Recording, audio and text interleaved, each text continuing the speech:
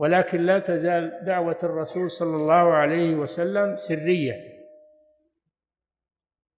من الخوف من قريش.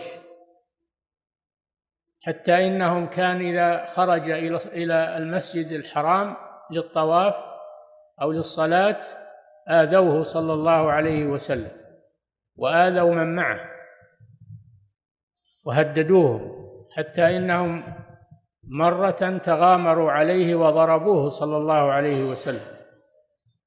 حتى جاء أبو بكر رضي الله عنه وخلصه منهم ردهم عنه. وفي مرة كان ساجدا صلى الله عليه وسلم عند الكعبة فألقوا على ظهره سل الجزور عليه الصلاة والسلام.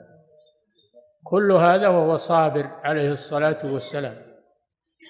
صابر لوجه الله عز وجل محتسب.